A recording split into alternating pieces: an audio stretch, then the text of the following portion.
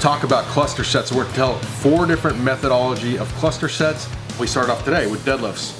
That was a quality cluster set, meaning we're trying to drill in technique there. So what Jonathan did was six sets of three reps. It's about 70% of his max on the deadlift, resting two minutes between each rep, focusing on technique and maximum speed and acceleration while not bastardizing technique.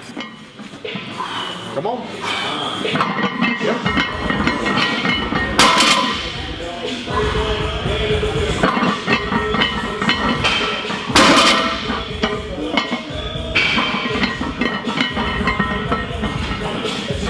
technique breaks down, that is failure at that point. We're not going to take it beyond that.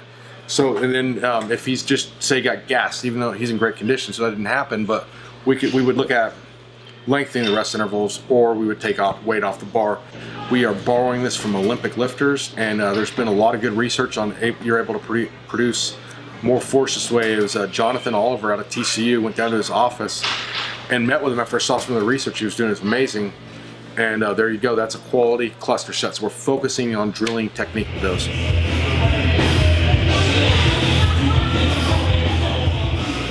We went to the we went to the um, lat pull downs where he faced away from the from the machine. You felt it in your lower lats a little more. Yep. Yeah, cool. So, anyways, what we did there is, for um, lack of a better term, we did a hypertrophy specific cluster set. So what we're doing there is Jonathan is picking a weight he can lift for 10 to 15 reps.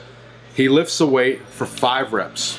Then he rests 15 seconds and he repeats the sequence. The objective here is to do this for five minutes. Now you can do it for a different period of time, but today, for and for the sake of this, we're in five minutes, okay? So if he can no longer do five reps, he remains on that rest interval of 15 seconds and drops it to four reps. When he can no longer do four reps, he remains on that rest interval and goes to three reps and so on and so forth, all the way down to if he was doing one rep at the end.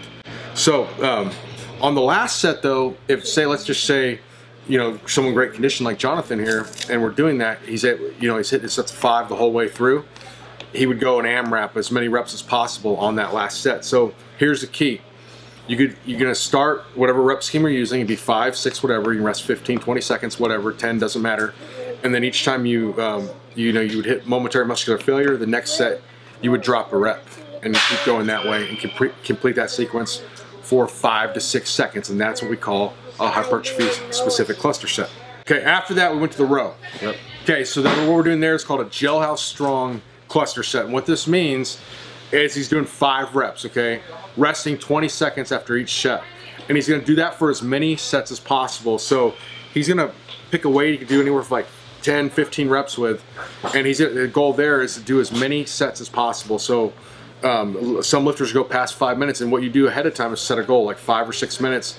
And when you're able to complete that, you'd move, later on you'd move up to a heavier weight. So that's how you progress it. So what we're doing there is open ended though. So if he can go past five minutes, we're gonna go for a while. But it's a heavy enough weight where it's not gonna get ludicrous where he's going for 20 minutes or something. It's there's no way, knowing Jonathan, he was not going to make five minutes, but he, he, I think he like six minutes and 30 seconds in mm. is where he kind of met his match. So what the objective here is you are setting a, a rep scheme, you're setting a specific rest interval, and you are going for as many sets as possible. If it becomes too easy, and that 20 second rest interval feels like can go on all day, just each set start you can start cutting it down. Like okay, you got five minutes, start resting 15 seconds you know, you get that, no problem, start resting 10 seconds. You start resting five seconds and do things like that get creative. But that's what's called a jailhouse strong cluster set.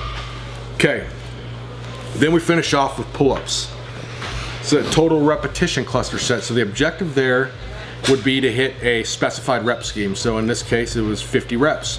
So what Jonathan does is do as many reps as possible each set and at failure you're gonna rest there so you could you know the way you could stop one rep shy of failure whatever but you're gonna do it and you you take a you could take a specified rest period in our case here it was 15 seconds after you hit rest 15 seconds you do as many reps as you can and you keep doing that till you hit 50 repetitions. So what you do with this type of cluster set you set a target goal of reps and then you set it like within a specific amount of time. So if you're gonna do it in seven minutes you need to hit 50 70 reps doesn't matter in that seven minutes.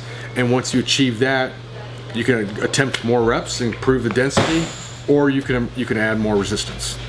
Luckily this workout didn't um, turn into a big cluster. You know what? It actually was very productive and now we've introduced you to four different methods of cluster sets you can use in planning your workouts and give them a try